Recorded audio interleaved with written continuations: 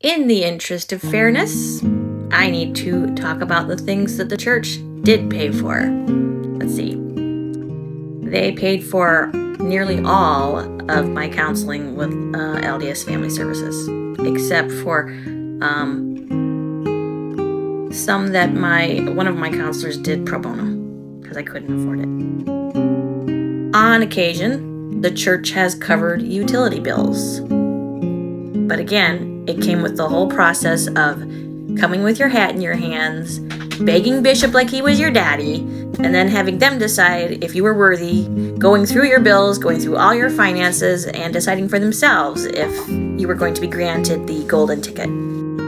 There were a couple of food boxes when they came with a food donation around the holidays, which we were surprised to receive because there were other people more poor in our church unit. And there have been Christmases where we got gifts. Um, a lot of them came from the dollar store. A lot of them had clearance stickers still on them. But it was something, right?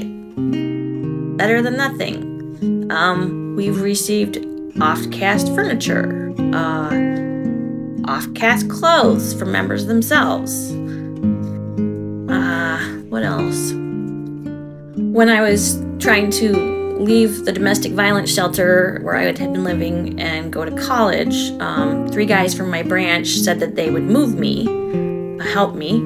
So we loaded up all my stuff, and then when everything was loaded, they informed me that uh, I needed to pay their gas money. So that was free. And in the process, I had a grandfather clock that was broken it went down the steps. And so one of my helpers got a free grandfather clock he said he was going to fix up because I couldn't afford to fix it.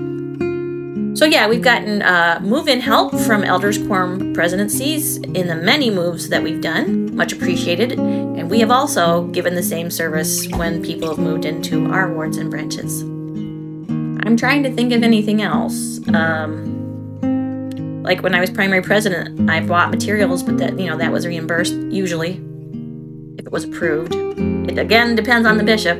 I had one bishop that was incredible. He supplied a whole nursery with new stuff because the whole place was like 25 year old toys. But other bishops didn't give a shit about nursery. So again, it's bishop roulette. And if you think you're going to be taken care of, I actually had a branch president tell me that when the tent cities came up and the trucks were moving out, I'd better be attending church, and even then, maybe we wouldn't be told because he didn't particularly like me.